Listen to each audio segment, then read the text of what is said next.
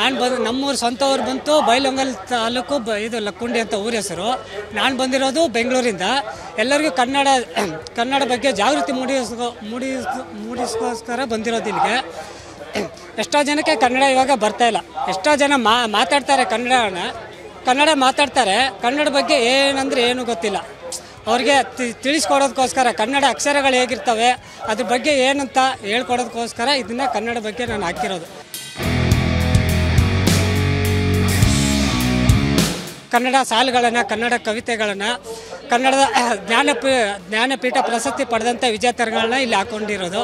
ಎಷ್ಟೋ ಜನಕ್ಕೆ ವಿಜೇತರುಗಳು ಗೊತ್ತಿಲ್ಲ. ಜ್ಞಾನಪೀಠ ಪ್ರಶಸ್ತಿ ಪಡೆದಂಥವ್ರು ಎಷ್ಟೋ ಜನಕ್ಕೆ ಆ ಕವಿಗಳ ಹೆಸರೇ ಗೊತ್ತಿಲ್ಲ. ಅವ್ರನ್ನ ಇದ್ರ ಮೇಲೆ ಹಾಕಿದ್ದೀನಲ್ಲ ಕವಿಗಳನ್ನ ಅವ್ರನ್ನ ತೋರಿಸ್ಕೊಟ್ಬಿಟ್ಟು ಅವ್ರಿಗೆ ಹೇಳ್ಕೊಡ್ತೀನಿ ಇವರು ಈ ಥರ ಈ ಥರ ಮಾಡಿದ್ರು ಅನ್ನೋದೊಂದು ಜಾಗೃತಿಯನ್ನು ಎಲ್ಲ ಕನ್ನಡ ಜನತೆಗೆ ನಾನು ಆವಾಗವಾಗ ಜಾಗೃತಿಯನ್ನು ಮೂಡಿಸ್ತಾ ಇರ್ತೀನಿ. ಆ ಸಾಹಿತ್ಯ ಸಮ್ಮೇಳನಕ್ಕೆ ಬಂದಿರೋದಿಲ್ಲ. ಇದು ನಮಗೆ ಮೂರನೇ ಕನ್ನಡ ಸಾಹಿತ್ಯ ಸಮ್ಮೇಳನ. ಮೊದಲನೇದಾಗಿ ರಾಯಚೂರು, ಎರಡನೇದು ಮೈಸೂರು ಇದು ಮೂರನೇದು ನಮಗೆ ಉತ್ತರ ಕರ್ನಾಟಕ ಇದೇ ಮೊದಲನೇ ಬಾರಿಗೆ ನಾನು ಕನ್ನಡ ಸಾಹಿತ್ಯ ಸಮ್ಮೇಳನವನ್ನು ಆಚರಿಸ್ತಾ ಇರೋದು ತುಂಬಾ ಸಂತೋಷ ಆಯ್ತಾ ಇದೆ ಇವತ್ತು.